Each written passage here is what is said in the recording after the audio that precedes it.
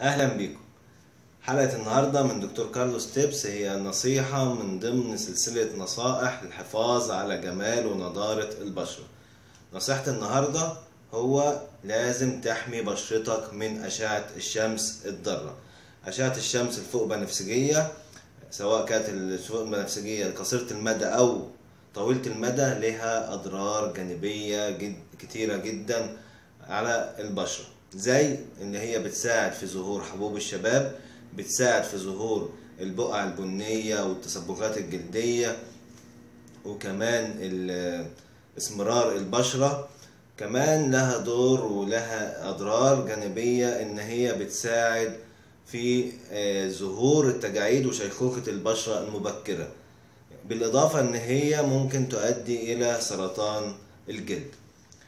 عشان كده بننصح كل الناس لازم تستخدم واقي الشمس قبل ما تتعرض للشمس بربع ساعة ولو هنتعرض للشمس فترة طويلة نقرر استخدام واقي الشمس كل ساعتين.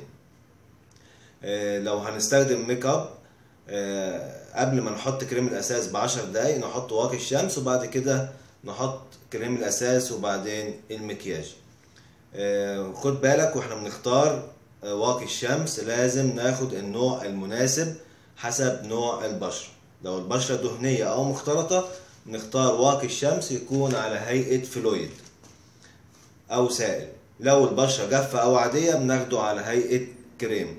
لو البشرة لونها فاتح ناخد واقي الشمس يكون درجة الحماية بتاعته عالية لأن البشرة الفاتحة بتتأثر بسرعة بأشعة الشمس عكس البشرة الغامقة ممكن ناخد عامل حماية واقي الشمس يكون قليل لأنها بتبقى ما بتتأثرش بسرعة زي البشرة الفاتحة. كمان لو بشرتك حساسة ناخد النوع المناسب من واقي الشمس حسب نوع البشرة بالإضافة إن هو لازم يكون فراجننس فري أو خالي من العطر عشان ما يسببش أي تهيج أو إحمرار أو حساسية للبشرة.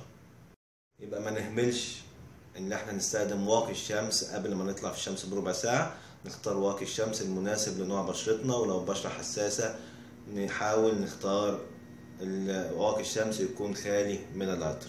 كده نكون خلصنا حلقة النهاردة من دكتور كارلوس tips.